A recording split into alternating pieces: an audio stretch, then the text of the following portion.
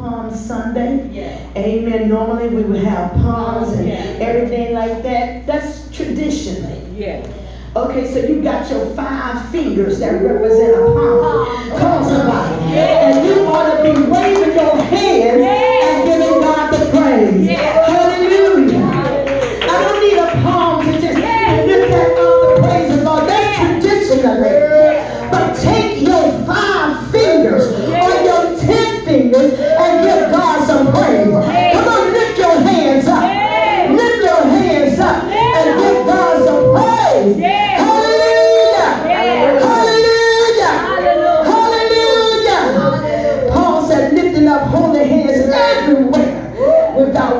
In doubting. I don't doubt the Lord this morning. Come on, somebody. Give God some praise. Hallelujah.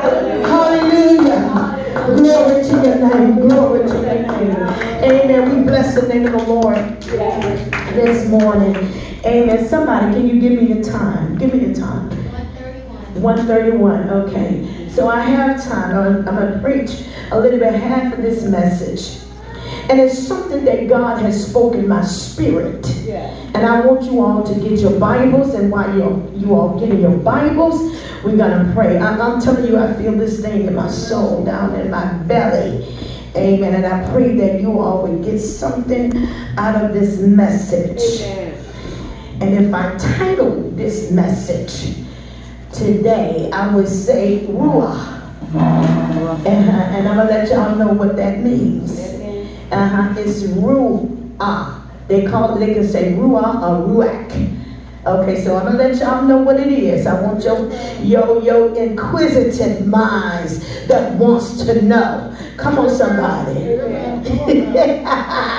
well, God, I thank you, Holy Ghost. Father God, I thank you for all things in the name of Jesus, and I praise you for your goodness and your mercy and your everlasting power. I thank you for who you are. Yeah. You are an amazing God. And Lord, I thank you for this message today that called Ruach. And God, I ask you in the name of Jesus, bless the ears of the recipients. Help them to understand what the Lord is speaking and saying to the church. Father God, I'd ask you to move by your spirit for those that the members that who are not here, that they wanted to come and God, something happened. But God, I ask you to move and, and let them know that they got to take it by force. Yeah. And God, I'd ask you in the name of Jesus, help the ears of your recipients this morning. Let them receive this word on good ground. In Jesus' name I pray. Amen. I want to take you to part of the scriptures that the Bible speaks about. Talk about Ruach, or you can say Ruah. And I want you to go to with me, and when I tell you what the scripture is, I think it's going to come to your remembrance, the chapter. Go with me to the book of Ezekiel. Hallelujah. The 37, I want everybody to follow with me and the Word of God because I want you to understand and to know what God is saying to during this particular time the people of Israel and which we also got to take notice and say that Lord don't let me be dead. Don't let me be dried up. Don't let me not to forget. Don't let me to forget about you Lord and forget about your spirit. Amen Y'all make sure y'all come back. I want y'all to hear this word. Mm-hmm. So if you have in the book of Ezekiel, go with me to the 37th chapter. And I want us to read together. Amen. Because I want you to get this in your spirit. I want you to understand why God did the way that he did. Go with me in the book of Ezekiel, the 37th chapter, and everybody got to say amen. amen. Say hallelujah. hallelujah. Amen. So let's read together. Let's read in concert. Read. The hand of the Lord was upon me and carried me out into the spirit of the Lord. So let, let, let me let you let me let you get this straight. Okay, let me read a little bit more. Okay, then I'm gonna let y'all understand. Carry me out in the spirit of the Lord. Read on. and set me down in the midst of the valley, which was full of what? Bones. Bones. Read on.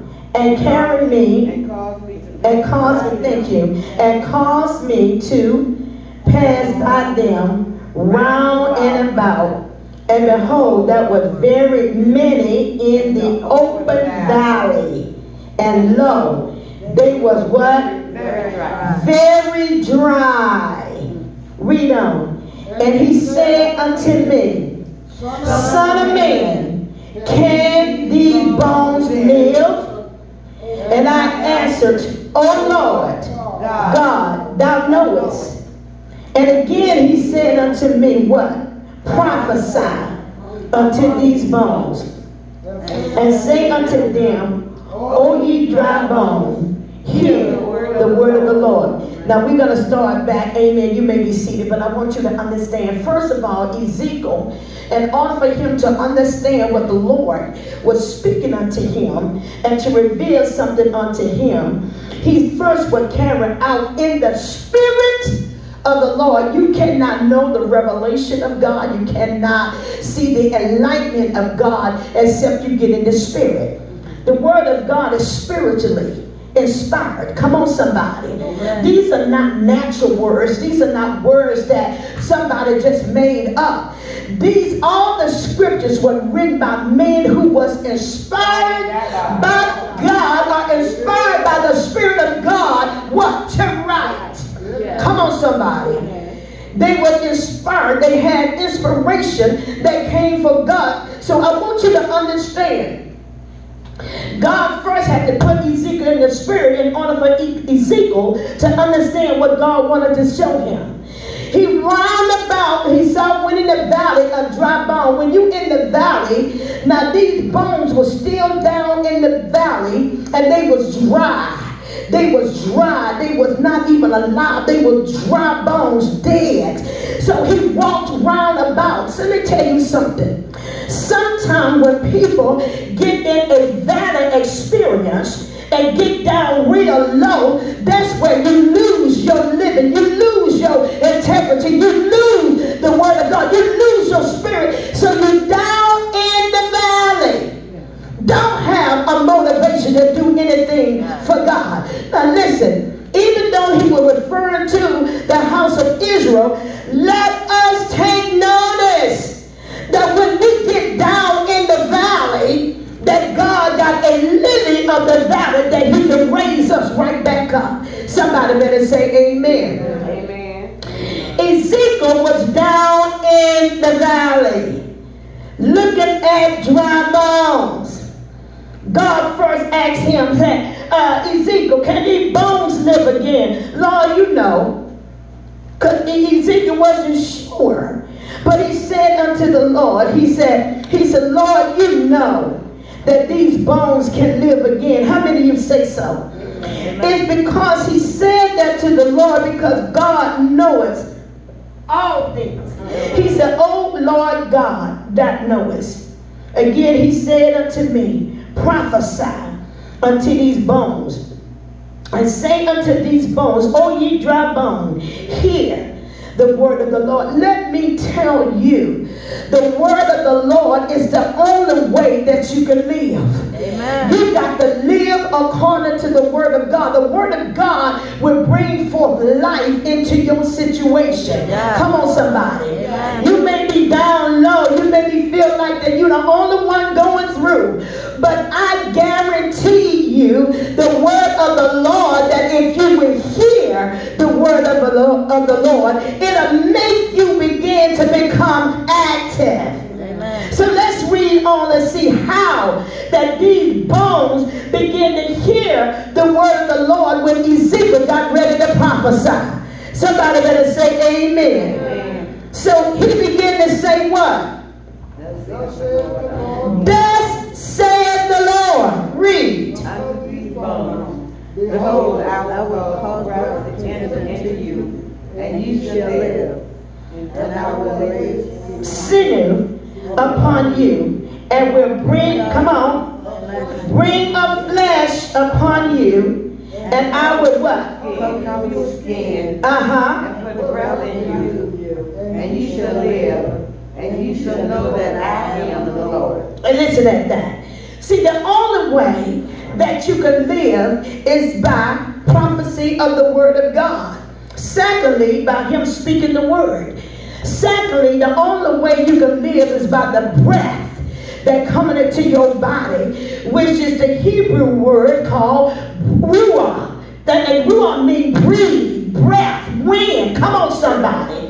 So the only way somebody gonna get this thing after a while, the only way that you're gonna be able to live and for changes to come in your life, number one, you got to hear the word of God, and number two, that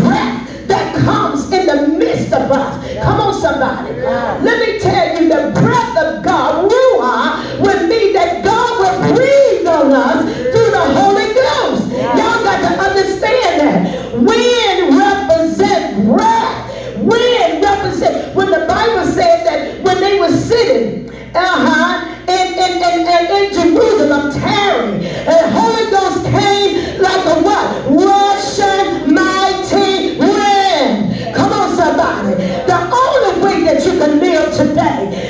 To hear God's word. You got to apply the Spirit of God down in the midst of us in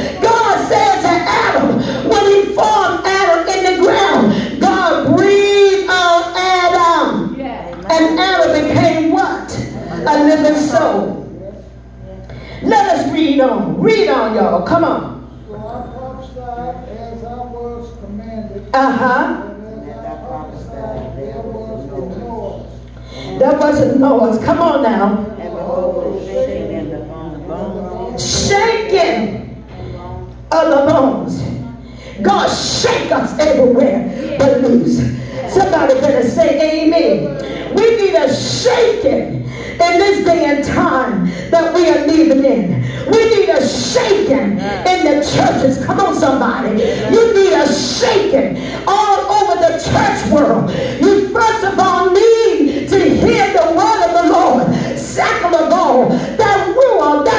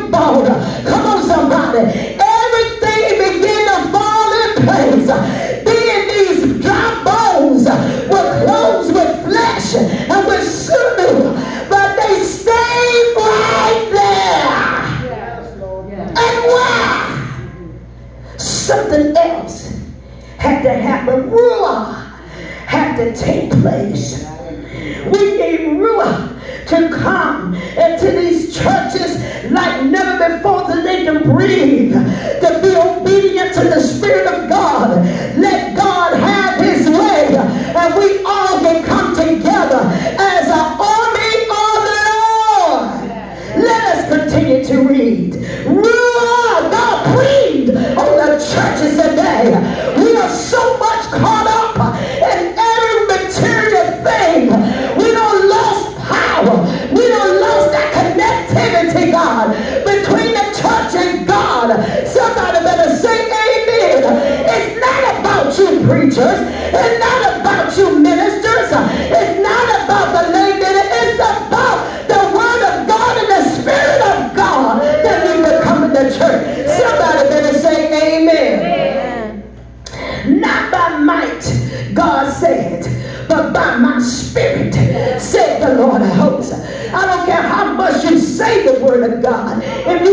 To say the word of God without the spirit of God, which is the anointing, it's still not going to be effective. Amen. So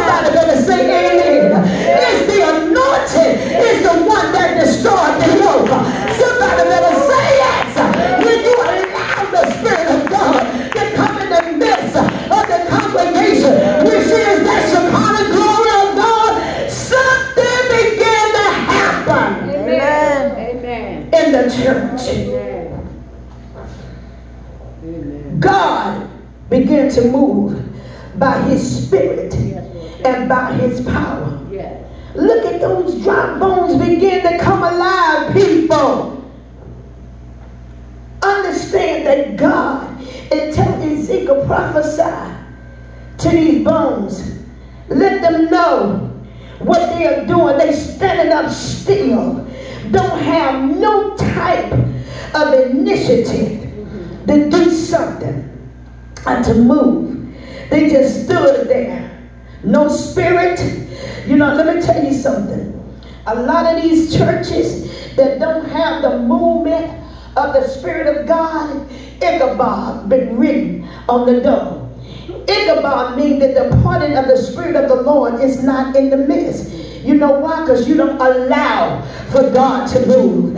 You don't allow for God to have his way. You don't allow for people to praise the Lord. Glory to God. That's why these bones was revived. Revived means to bring back to life. Glory to God. Oh, my Lord. Bring back to life or bring back to consciousness. Resuscitate to give new health, give new strength, to give new spirit, to restore to ease. Somebody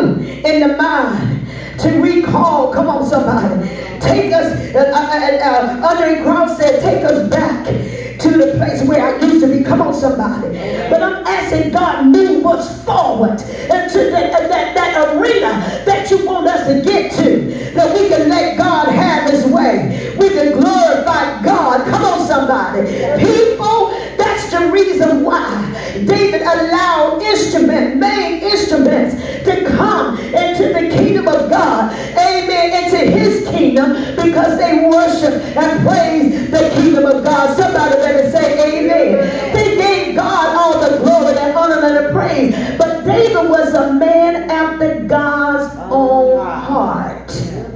Why? Because David praised God. Praised God when he was a little shepherd boy. He praised the Lord. He saw how God moved. David said one time a lion came and, and wanted to kill one of his sheep. What happened? The Spirit of God came upon me and I destroyed him. The bear came to take one of my sheep. He said, Well, the Spirit of God came upon me. Church, we need the Spirit of God to come back into the house of God like never before. We need the wind, come on, somebody, to come into the midst of us. Glory to God. Let's read on. Let's read on. Then said he unto Uh huh. Listen, prophesy Ezekiel unto the wind. Prophesy, son of man, and say to the wind, What? That said the Lord. Come from the four winds, O breath. Come from the north, O breath. Come from the south, O breath. Come from the east and the west. Come. And that wind got stirred up. Somebody better say amen. It was stirred up, it was created, and it came, as Ezekiel said, read on. Oh, o breath, and breathe upon these things. Yes, oh breath, breathe upon what? These. Come on. That they may live. Lord, my God. Y'all, did, did y'all see what I'm talking about? The word and the wind, the ruah, the breath, that spirit of the Lord.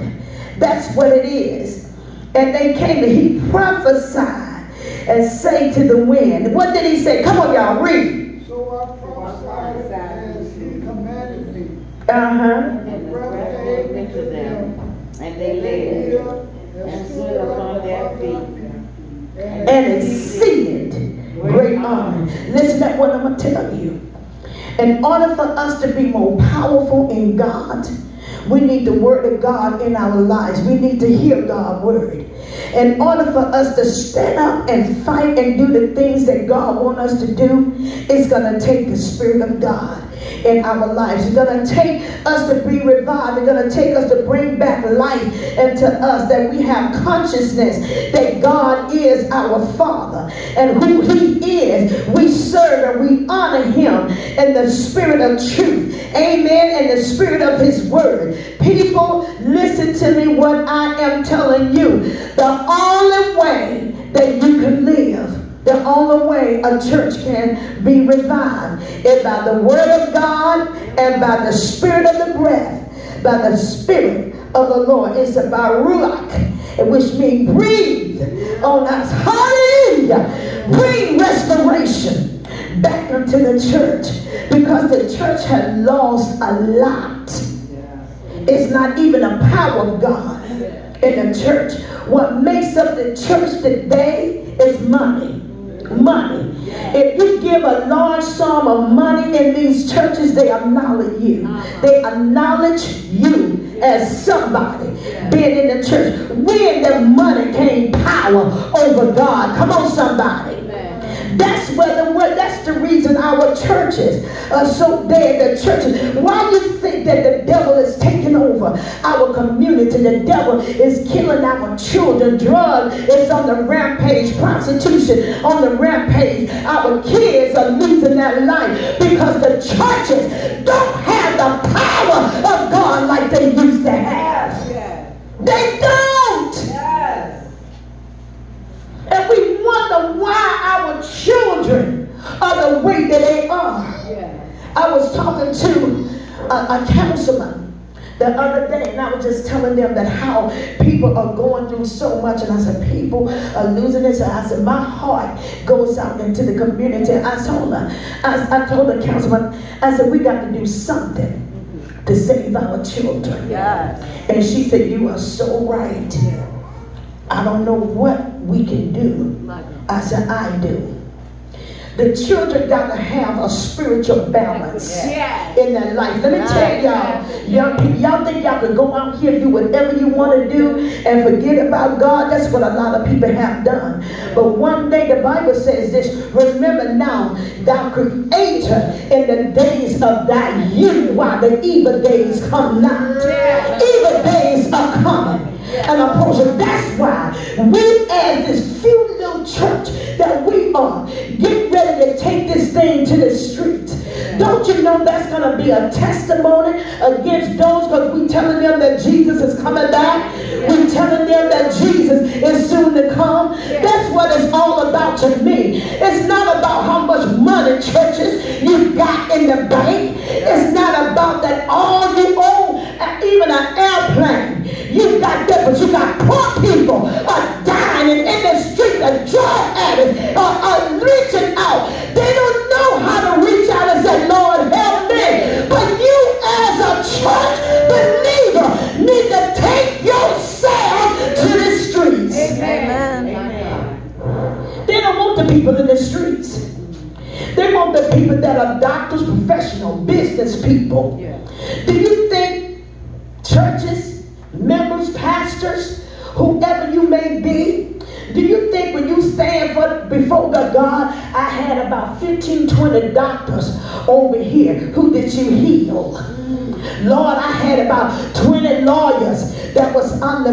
Okay, what did they do for the poor people? Amen. That's what the poor, Jesus loved the poor. He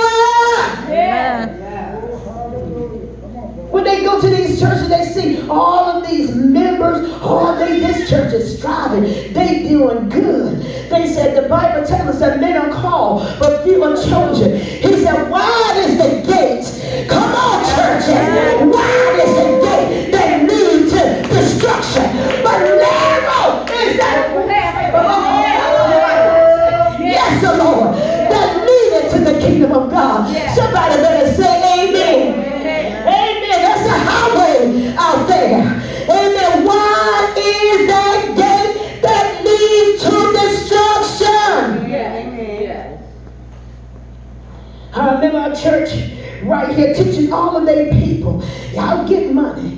Get your business. Your businesses. Do this. Do that. I don't care what it is. Do it. They had some of the peoples in their churches going around. They find out that these elderly people, their property Right. uh, got so high they couldn't pay their property bill. But instead of they going around helping the older people, and they come around and say, "We'll pay your you, but you got to give us your house." That's a lot from the place of hell. If you had any type of love of God in you, you would have said, "Mother, I, I, know you behind on your property taxes. Let me pay it for you to get yourself back in line." Somebody better say, "Amen." Amen. I was talking to another lady. She had her mother left her uh, a property rental, and a home. The property rental pays the mortgage on her home. The city wouldn't help them to do anything, didn't help this lady. All of the money that the city has, and I know I'm not blaming the city, they don't have the vision mm-hmm. except for a few. And I work with those few, some of the few members of city council. She lost her home. They took because she owed taxes on that house. That was the uh, help her to uh, survive and pay the mortgage on this house. She lost that house, and now she in the process of losing her home. I was talking to one of the, the men that work with me. We have helped the homes that we got got $4.2 million. And I said, so what are you going to do for this lady? Yeah. That she need to come up to code uh-huh. because she don't have enough money to fix her house. Yeah. He said, she's the first one who we going to help. I said, you do that, uh-huh. I'll process that transaction just like that. Amen. That's what we supposed to be in here for. Yeah. Is to help these people that need help. that don't have the money to fix up their home, to fix up their building, to fix up this and that. Those that who lives in the city, people, that's a way out. And I know I'm seeing the money every day. $4.2 million in this particular program, 5.5 million in that program, 78 million dollars that the federal government gave us to help the homeless. And who is telling this stuff to the people? Nobody. Why they can't see it? We put out a NOFA. We put out that, that a notification that these funds are available. Guess what? They can all can read. That's right. That's right. So I want to do mm-hmm. something a little bit different. I'm gonna be bringing them homeless and community people together and trying to let them know, look, y'all better get start reading this newspaper and know what's coming and what's not. And then some of the churches needs to tell their people Yes. about it, but they don't because it's all about their greed and what they can Uh-huh, get. uh-huh. That's what it's all about. It's about helping the people to me. Yeah. I'm gonna stop right there today. And I'm gonna say we need to cry out to God Amen. for these churches. Let them know that they got to go back to doing what God called you. God didn't call you to be a rich person, even though we can be rich, but that's not the final say so. Amen. Somebody better say amen. Help the poor people to get where they need to go. Amen. Y'all doing all of these different things, my God.